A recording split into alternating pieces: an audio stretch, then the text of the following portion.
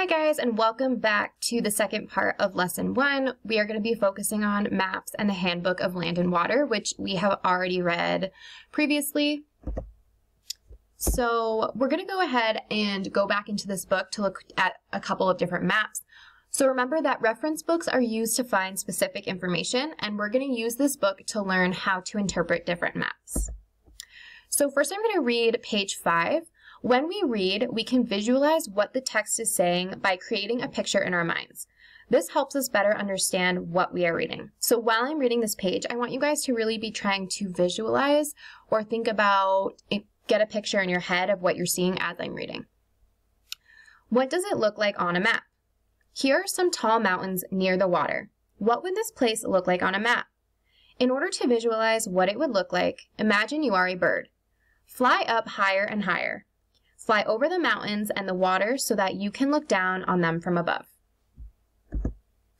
So I want you to take a second to describe what you might see if you were a bird flying over the mountains and looking down on it from above.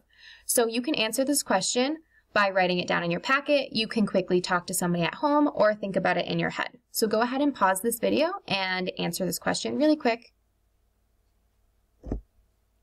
So now I'm going to read page six. The photo shows what it would look like if you were a bird flying high above these mountains. Some people call this a bird's eye view.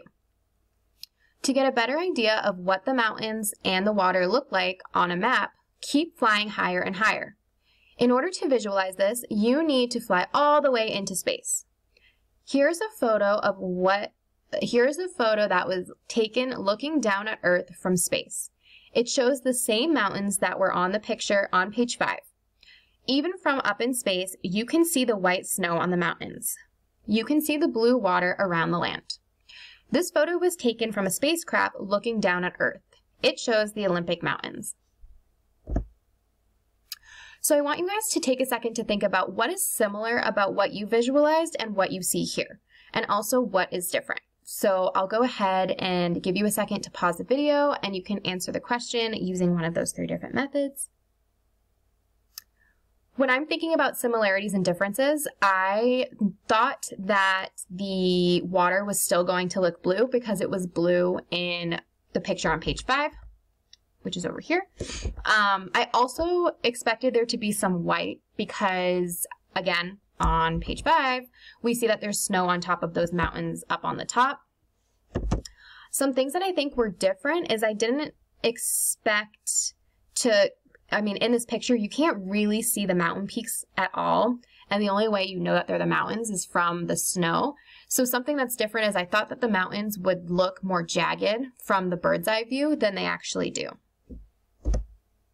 Okay, so now we're going to go ahead and read page seven. Here's a map of those same mountains. A map is not a photo. It is a picture people create. A map shows the land and water in simple ways. Sometimes the colors are different on a map than they are in real life. This makes things easier to see and find. Most maps have something called a key or a legend. A map key is a guide to the map. It helps you figure out what each part of the map shows. So again, this is still a map showing the Olympic Mountains, but instead of a photo like the last picture, this is a map. So we're going to talk about the map's features, including the title, labels, and key. Using the map key, we can locate very highland, highland, lowland, water, and cities and towns. So if I'm looking at the map over here, I see the title of the map up at the very top, which says Map of the Olympic Mountains. I also see the map key, and this is going to help us figure out what we are looking at on the map. So I can see that this brown dot is showing very high land. So when I look on the map, I'm seeing that this area right here right kind of where it says Olympic Mountains, that's going to be really high areas. So that's probably going to be like the top peaks of my mountains.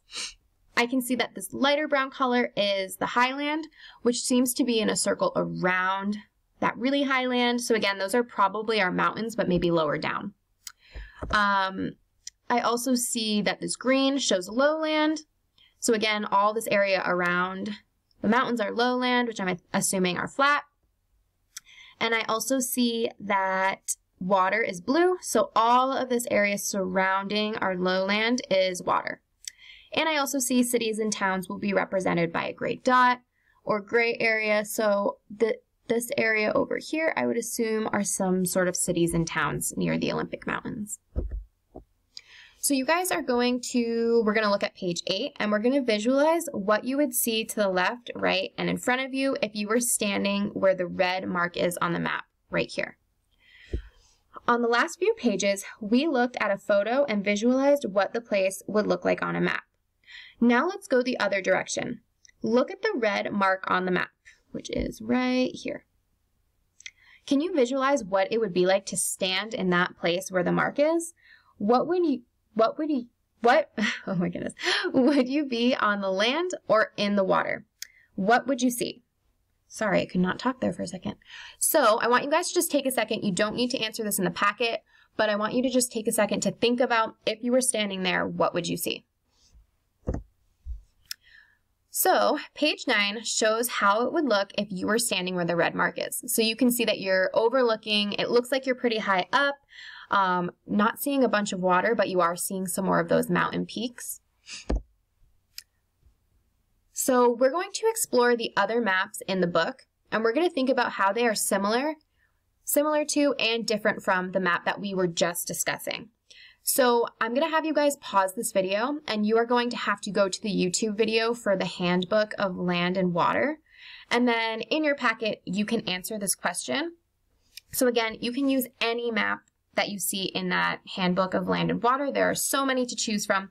Here's an example over here that you can use. Um, and then you will join us back for the next part of our lesson.